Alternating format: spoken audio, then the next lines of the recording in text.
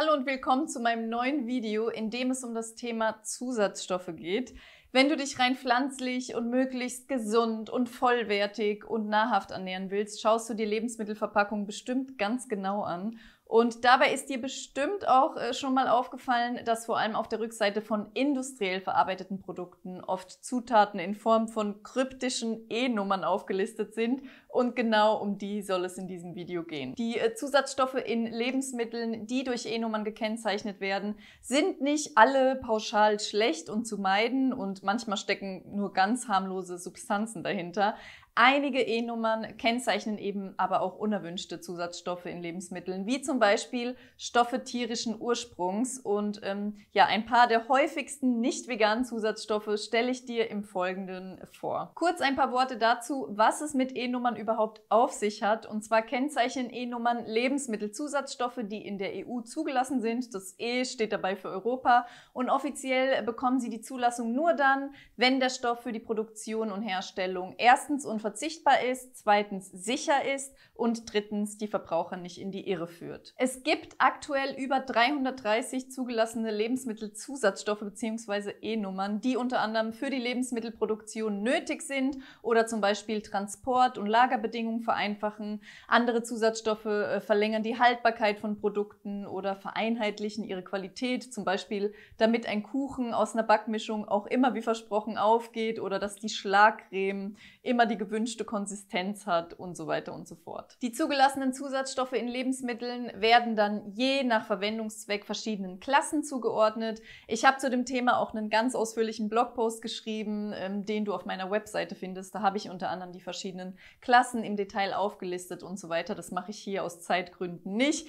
Den Link zum Artikel findest du unterhalb in der Videobeschreibung. Wenn du dich vegan ernährst, solltest du insbesondere nach den E-Nummern Ausschau halten bzw. sie meiden, hinter denen tierische Inhaltsstoffe stecken. Zum Beispiel sind äh, Geliermittel oder auch Farbstoffe eben oftmals tierischen Ursprungs. Ich nenne dir jetzt ein paar Klassiker, die häufiger vorkommen, aber äh, die Liste erhebt natürlich keinen Anspruch auf Vollständigkeit. Also wenn du es ganz genau wissen willst, schau unbedingt in meinen Blogpost vorbei, wo ich ein paar weitere potenziell ähm, nicht vegane Zusatzstoffe vorstelle. Und ähm, jetzt folgen erstmal die häufigsten nicht veganen E-Nummern, die du am besten meiden solltest. Hinter E120 verbirgt sich echtes Kamin, das aus weiblichen Schildläusen gewonnen und als roter Farbstoff eingesetzt wird. Hinter E441 steckt Gelatine, die aus dem Bindegewebe verschiedener Tierarten, vor allem Schweinen und Rindern gewonnen wird und unter anderem in Süßspeisen wie Gummibärchen oder auch Tortengüssen vorkommt. E631 ist Natriumison Natriumison Natriuminosinat. Natriuminosinat. Inosinat. Natriuminosinat. E630 ist Natriuminosinat. Oh Gott, Hilfe!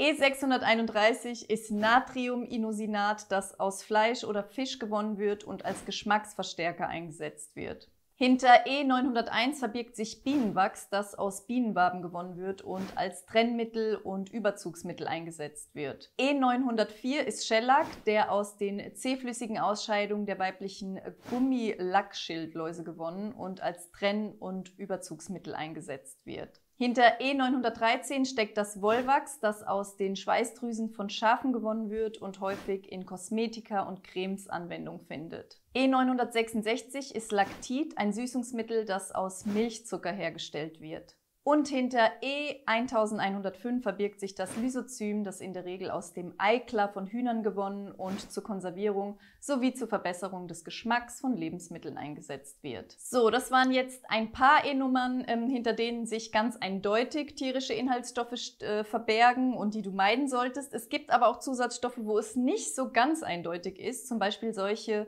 für deren Herstellung Fettsäuren notwendig sind. Und diese Fettsäuren können eben pflanzlichen Ursprungs sein aber eben auch tierischen Ursprungs, zum Beispiel aus Schweineschmalz, Rindertalg oder Milchfett äh, bestehen. Eine genaue Auflistung dieser E-Nummern findest du in meinem bereits erwähnten und unten verlinkten ähm, Blogpost. Außerdem gehe ich in diesem Artikel auf die Frage ein, ähm, wie sicher Zusatzstoffe in Lebensmitteln und auch Kosmetika sind und nenne einige E-Nummern, äh, die in der Diskussion stehen, eben nicht komplett ja, unbedenklich zu sein. Zum Schluss möchte ich dir noch ein paar Tipps mitgeben, wie du es schaffst, unerwünschte Zusätze in Lebensmitteln ja möglichst zu meiden. Das ist nämlich gar nicht so schwer ähm, wie gedacht. Und da ist mein Tipp Nummer eins, überwiegend vollwertig zu essen. Das heißt, selbst zu kochen und deine Gerichte möglichst aus unverarbeiteten Lebensmitteln zuzubereiten.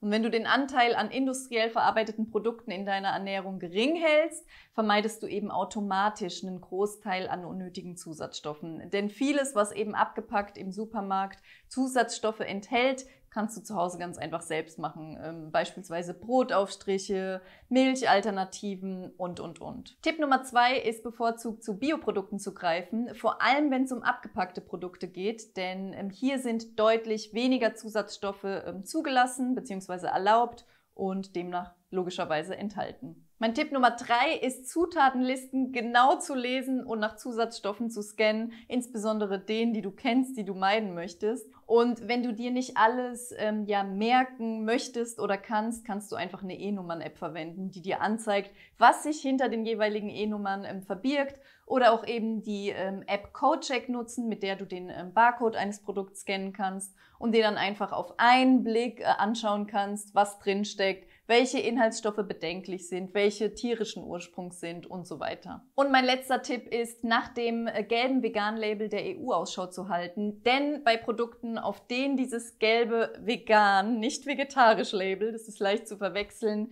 der Europäischen Union abgebildet ist, kannst du dir sicher sein, dass sie keine Zusatzstoffe tierischen Ursprungs enthalten. Das ist natürlich eine schöne Erleichterung, weil du das dann auf einen Blick siehst und dann nicht nochmal extra mit einer App scannen oder irgendwas recherchieren registrieren musst. Aber wichtig zu wissen ist, dass das Vegan-Label für die Hersteller kostenpflichtig ist und natürlich kann sich nicht jedes kleine Unternehmen so ein Label leisten oder die Zertifizierung. Ähm, deswegen ist es eben auch oft nicht auf Produkten ähm, zu finden, die aber eben eigentlich vegan sind. So, das waren meine Tipps. Ich hoffe, dieses Video hat dir weitergeholfen und zu etwas mehr Klarheit über das Thema ja, E-Nummern und Zusatzstoffe und so weiter beigetragen. Wenn du noch mehr Details willst, schau auf jeden Fall in meinen ähm, unten verlinkten Beitrag zum Thema. Ansonsten freue ich mich natürlich wie immer ähm, über einen Daumen nach oben, wenn dir das Video gefallen hat, über deinen Kommentar und natürlich auch dein Kanal-Abo, falls ähm, noch nicht geschehen. Und ja, ich danke dir fürs Zuschauen und sehe dich dann hoffentlich im nächsten Video.